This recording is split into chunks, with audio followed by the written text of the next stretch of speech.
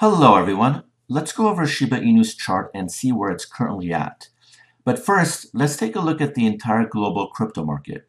The market cap is a little over 2.3 trillion, so it's pretty flat over yesterday. It's not really doing much. Bitcoin, Ethereum are all pretty flat. Same goes for Shiba Inu. Let's take a look at Shiba Inu's market cap, which is currently a little over 10 billion. So it has a long way to go to reach one of the top five cryptocurrencies, which range anywhere from 68 billion to Bitcoin, which is slightly over a trillion dollars. So there is an enormous amount of potential for Shiba Inu going forward. Keep in mind that this is a new cryptocurrency. It was introduced in August of 2020. For it to be already a top 20 cryptocurrency says a lot about its popularity and strength.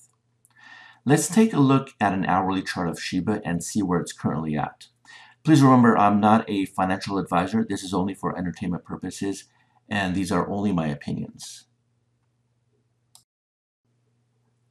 Here's an hourly chart of Shiba, and as you can see, the recent high it made was 0.0000358 on October 7. Since then, it's been going down but finding support along the way, which is a great sign.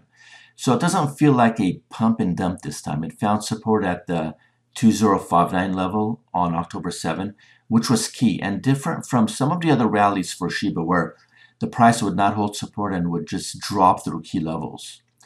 Since it found support at 2059, it has rebounded slightly, riding along the 9 EMA briefly, which is a good sign, and being above the VWAP and the 50 EMA. It cracked below the 9 EMA here and it looks like it's about to reclaim it. However, it's still below VWAP for the time being, which is the blue line on the chart. The price wants to consolidate between these two horizontal lines between 2555 and 2893. If it breaks above 2893, the next major resistance level is 3558 level. So in my opinion, I think there's a good chance that it tests that price level next week. We need to see higher volume if we're going to test that area and break through it. That's all I have for today. Be sure to like and subscribe, and I'll see you in the next one.